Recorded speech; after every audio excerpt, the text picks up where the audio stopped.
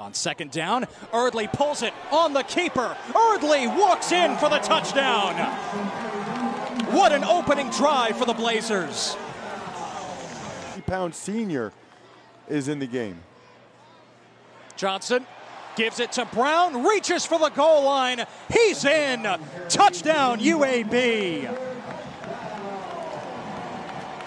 First and goal now. Bradwell remains in there. Bradwell right down the chute for the touchdown. Tulane on the board. And Banks is out there for Tulane.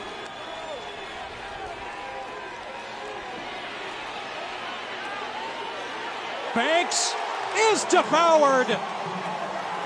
It's picked up by Garrett Marino across the 20. This play's still going. Marino dives in for the touchdown. The sack, the strip, and the 48 yard return for a score. Watch Banks. He's so good in the open space. Marino gets down the line, but Mole, number 20, Chris Mole comes. He's the star. He had secondary contain there. And this is Garrett Marino's dream. 6'2, 290. Probably played running back in high school. Let's see if the ball comes out before he's down. Ooh, I don't know.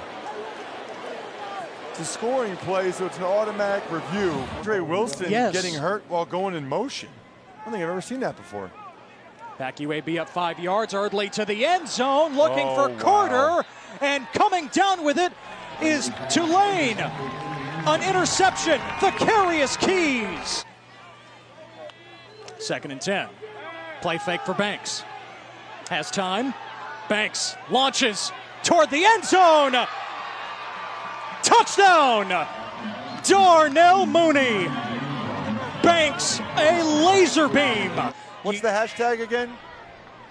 TUL versus UAB. You can use that on Instagram as well. Nick Vogel on for the field goal, and it is good. 40 yard try. Curling in. It's good. Blocked. Remember, they passed up the opportunity for a field goal earlier in this game. Third and four. Erdely to the air, to the end zone. Touchdown.